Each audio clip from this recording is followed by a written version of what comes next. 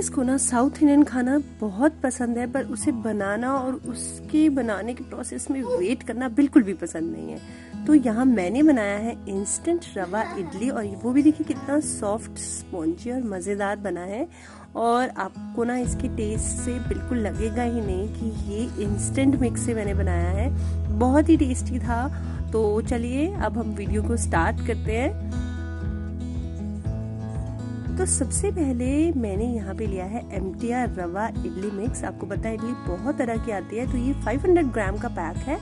यहाँ सिर्फ़ curd add करना है और 15 मिनट में ये रेसिपी बन जाएगी। यहाँ पे इसका वेट लिखा हुआ है, यहाँ इसका प्राइस है एक सौ और ये तीन इजी स्टेप पे बन के तैयार होगी, वो लिखे जो तीन अलग अलग लैंग्वेजेस में आपको मिल जाएगा और यहाँ बाकी फलाना दिमाग का इसका जितना भी डिटेल्स है, वो दिया गया तो चलिए स्टार्ट करें। तो सबसे पहले हम एक बोल लेंगे और उसमें एक कप भर के हम डाल देंगे ये इडली मिक्स तो आधा कप हम डालेंगे खट्टा दही। अगर खट्टा दही आपके पास नहीं है तो नॉर्मल दही में ना हल्का सा नमक डाल के उसे बाहर रखें फ्रिज में ना रखें तो ये आधे पौने घंटे में ना खट्टा हो जाएगा। तो अब हम इसे अच्छे से मिक्स कर देंगे और ढक्के से एक मिनट के लिए अलग रखेंगे, जैसा इंस्ट्रक्शंस पे लिखा हुआ है। अगर वीडियो अच्छी लग रही है तो इसे लाइक करना और चैनल को सब्सक्राइब करना मत भूलना। तो देखिए, एक मिनट के बाद मैंने इसमें डाला है एक कप दही। आपको रेशो को ध्यान रखना है, वैसे तो इंस्ट्रक्शंस में लिखा ही है, पर एक कप मिक्स में आपको डेढ़ कप दही डालना है और वो भी खट्टा।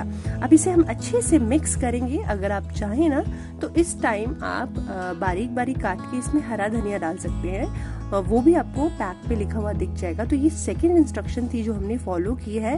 तो अब इसे अच्छे से हम मिक्स करके ना टू मिनट्स के लिए ढक के रख देंगे। और जब तक दो मिनट होते हैं, हम अपने वेसल को रेडी कर लेते हैं तो मेरे पास वेसल नहीं है इडली का। मेरे पास ये सिर्फ़ स्टैंड है।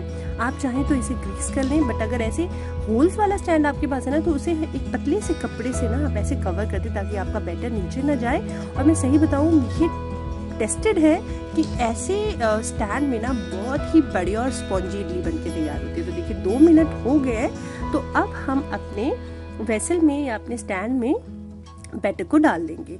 तो बैटर आपको ना बहुत नहीं डालना है थोड़ा थोड़ा डालना है।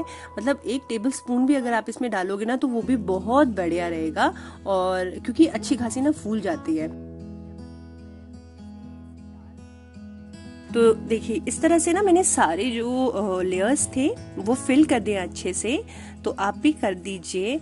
और जब तक ये हो रहा है ना, तब तक आप अगर नए आए हो तो चैनल को सब्सक्राइब ज़रूर करना। और हाँ मैं सोच रही हूँ कि ऐसे ना रेडी टू मेड जो रेसिपीज़ होती हैं, वो ज़रूर डालूँ, क्योंकि जो बाहर रहते हैं लोग और जो होस्टलर्स हैं या रेंट पे रह रहे हैं, वो ज़्यादा ना वो कर नहीं सकते, काम नहीं कर सकते। उन्हें चाहिए ऐसा जो जल्दी जल्दी बन के तैयार हो जाए। तो ऐसी सीरीज़ मैं ज़रूर अपने चैनल पे करूँगी। तो ऐसे देखिए, मैंने सारे अपने लेयर्स रेडी कर लिए हैं। और दूसरी तरफ़ मैंने ना पानी भी बॉईल करने के लिए रखा था, जो अच्छे से बॉईल हो रहा है। अब हम बड़े ही आराम से अपने स्टैंड को इसमें रख देंगे।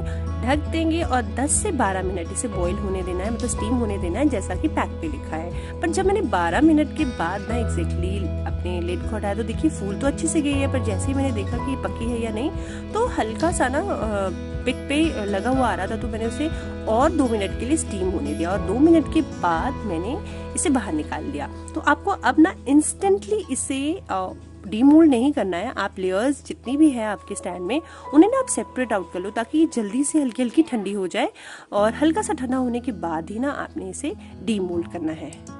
और मैं सही बताऊँ, ये जो इडली और सांभर, ये काफ़ी हेल्दी फ़ूड और ब्रेकफास्ट में काउंट होता है। तो ये मस्ट ट्राई है, आपको आना चाहिए बनाना, अगर नहीं आता आपको तो आप वैसे बना के देख लीजिए इंस्टेंट मिक्स से। तो यहाँ मैंने एक बार चेक भी कर लिया कि ये अच्छे से कुक हो गया है, नहीं हो गया है। हल्का फुल्का रेजिडुअल अगर आता है तो कोई प्रॉब्लम नहीं है, क्योंकि लेयर्स में होता है तो ठीक है। बट इसे अब एकदम से डिमोल्ड नहीं करना है। हम थोड़ी देर वेट करेंगे और थोड़ी देर वेट करने के चक्कर में एक प्लेट ही गायब हो गई। हाँ जी, वो तो खत्म भी हो गई। तो यहाँ देखिए, मैंने इसे बहुत ही आराम से डिमोल्ड कर लिया। कोई नाइफ कोई ऑयल की ज़रूरत नहीं पड़ी। और देखिए, देखने से ही लग रहा है कितना स्पॉन्जी बना होगा ये, कितने मज़ेदार सा टेक्सचर इसका आ रहा है। तो ये तो प्लेट्स थी जो नॉर्मली मैंने रख दी थी, पर जो नेक्स्ट लेयर्स है ना, उसमें मैंने काजू ऐड कर दिया था। जैसा पैकेट में दिख रहा था ना, काजू लगा हुआ। मैंने भी ट्राई किया कि मैं वैसे ही बिल्कुल अपनी इडली बना लूँ। तो अच्छी लग रही थी मज़ेदार थी और मैंने पहली बार घर पे इंस्टेंट मिक्स से इडली बनाई थी। ये बहुत ही बढ़िया बनी थी। तो स्पॉन्ज भी बनी थी ब्रेकफास्ट में वैसे भी अच्छा लगता है, ये बनानी चाहिए आपको। तो बस हमारी सारी इडली बन के तैयार होगी। बहुत ही मज़ेदार और बहुत ही स्पॉन्जी थी। आप इसे चटनी के साथ, सांभर के साथ, या आप इसे वैसे भी ट्राई कर सकते हो, क्योंकि इसमें ना मिक्स में कुछ फ्लेवर्स डाले होते हैं। तो अगर वीडियो अच्छा लगा तो प्लीज़ इसे लाइक कर देना, चैनल को सब्सक्राइब ज़रूर करना, कॉमेंट सेक्शन में मुझे बताना वीडियो कैसी लगी, और हाँ मुझे इंस्टाग्राम और फेसबुक पे ज़रूर फॉलो करना। मैं हैंडल्स आपको दिखा दूँगी, यहाँ पे दिख रहे होंगे आपको स्क्रीन पे, और साथ में आप ना रिटर्न रेसिपी के लिए मेरी वेबसाइट ज़रूर चेकआउट करेंगे। तो अब मिलते हैं नई वीडियो में, तब तक के लिए टेक केयर बाय बाय